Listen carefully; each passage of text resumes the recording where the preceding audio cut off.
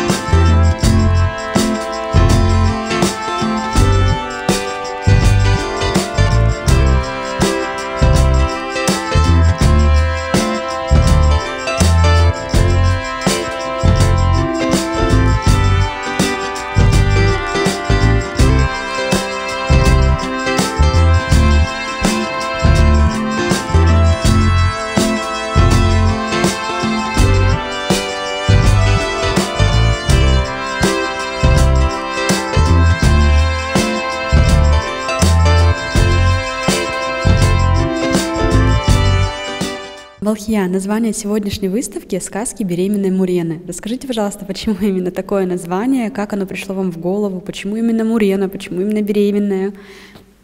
Ну, беременная Мурена – это уже своего, своего рода псевдоним у меня, потому что у меня было, было две выставки «Беременная Мурена», у меня была серия картин «Беременная Мурена». Ну и на самом деле вот в подвале у родителей я нашла акварель «Злая рыба», угу. которая такая, ну тоже она беременная, то есть беременная Мурена. То есть это что-то такое уже давнее. Угу. Ну и на самом деле мне очень нравится название Мурена. Нравится эта рыба. Рыба это на самом деле уже боится людей. Хотя она хищная, опасная, но на данный момент она уже людей боится. Не люди боятся ее. Угу. Объективно уже люди больше вреда приносят муринам, чем мурины людям. Угу. То есть Мурена как-то всегда была в вашей голове, да, можно сказать? Она там не появлялась с каким-то событием в один момент, а вот просто была, просто понравилась когда-то. Ну, эта идея как-то возникла сама. Угу. Откуда-то, не знаю, откуда-то, откуда-то не знаю откуда.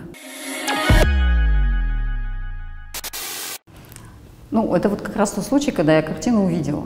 То есть я уже ложилась спать, я увидела картину, я ее начала рисовать есть я сделала набросок, который, ну, с, как, как я ее вижу, как я ее представляю.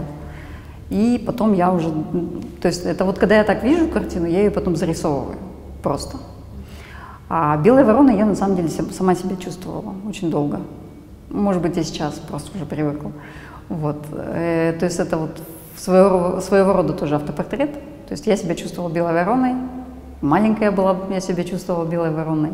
Взрослая стала, я себя чувствую белой вороной. И я так подозреваю, что я буду старая.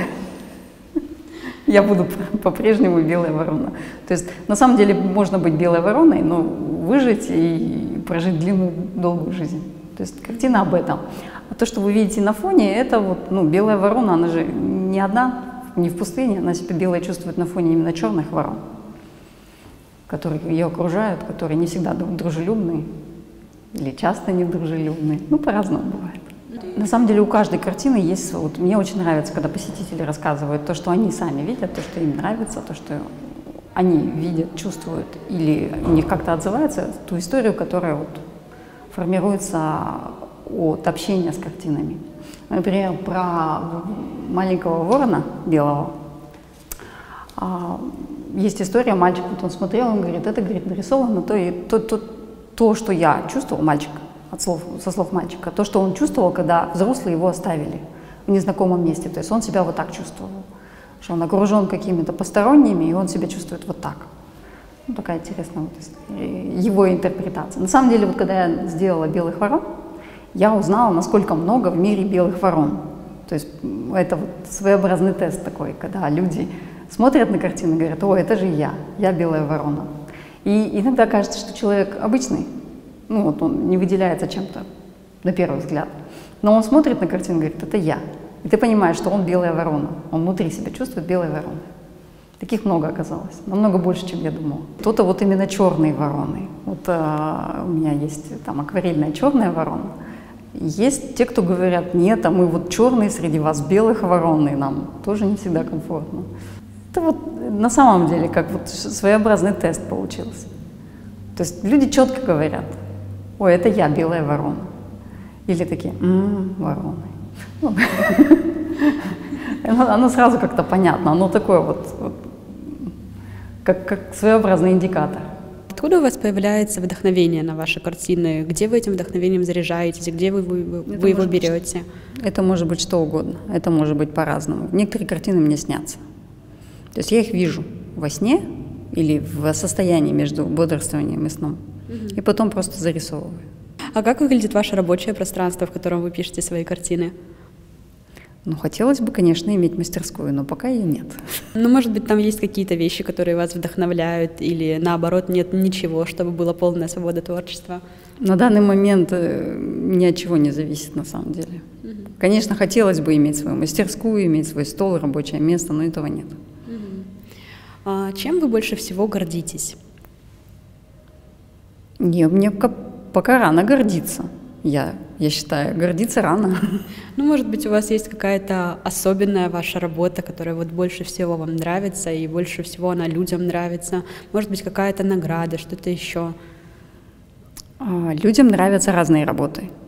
Вот прям разные. Вот я вот сегодня показывала, нравится, кому-то нравятся белые вороны, кому-то нравится вот, мир в себе, кому-то нравится вот эта серия Зигота и моя Мадонна, кому-то очень нравится иллюстрации. Поэтому сказать, что вот, ну, ну, я испытываю гордость, что у меня вот эта пятая выставка, она в музее, музей Костеева. А какую-то отдельную работу выделить для меня сложно очень. Mm-hmm. Они, для меня они все как мои работы. Так скажем, те работы, которые мне совсем неудобно показывать людям, я их просто не показываю. Mm-hmm. И такие есть? Сколько у вас таких э, работ дома? Я сейчас не могу сказать, сколько у меня, каких таких или не таких работ. Я вообще не в курсе, я уже не знаю, сколько работ у меня есть. А какой была ваша вот первая работа, которую вы считаете прям началом вашего художественного такого пути? С чего все началось? В детстве я рисовала девочку в фате с радугой из, из макушки. Вау! Я ее помню, но ее нигде не сохранилось. Ну, это мне было года четыре, может, три-четыре, ну, где-то так. Наверное, это было начало. Не знаю. Бабочки в животе, ну, это вот э, в женском кругу обсуждали о том, что на самом деле женщины, вот, э, ну, в современном нашем обществе женщины иногда забывают о том, насколько они ценные. На самом деле женщины, они уникальны, ценны. В природе всегда идет борьба за самку. Самки не участвуют в борьбе за самца, они за самцами не охотятся, не ловят их, не привлекают. Они живут своей жизнью, приходит какой-то момент, и самцы за ними борются. И девушки многие об этом забыли. Вот эта картина, она об этом. То, есть, что девушка, она самоценна. Парни должны за нее бороться. Вот. Это картина о той победе, которая случилась в жизни каждого человека, который живет на Земле, потому что каждый человек на этой Земле, он победитель, потому что он обошел примерно около миллиона других конкурентов. В среднем. Вот. В период выставки случилась интересная история. А, я вот тоже с гостями была здесь, и зашел мужчина, и он посмотрел на картину, и у него прям на глазах выступили слезы. Он подошел ко мне и такой, скажите, скажите, о чем эта картина? Я, говорит, вот ее правильно понял? Я говорю, а как вы ее поняли? Ну, это говорит, о мимолетности жизни и о том, что бабочки, вот они живут очень недолго, и у него прям на, глазах слезы. Ну, я ему рассказала на самом деле, какой смысл этой картины. Он говорит, ну, близко. И он немножечко по-своему, вот, близко к его личной истории воспринял эту картину. Но он так вот Говорит, ну все равно похоже. Я, говорит, пойду лучше, только я сейчас разрыдаюсь. Ну, то есть вот настолько. Я не ожидала, что бабочки могут вызвать такие эмоции. То есть для меня это было вот прям удивительно, что такая картина яркая, положительная, может вызвать у человека вот прям слезы на глазах.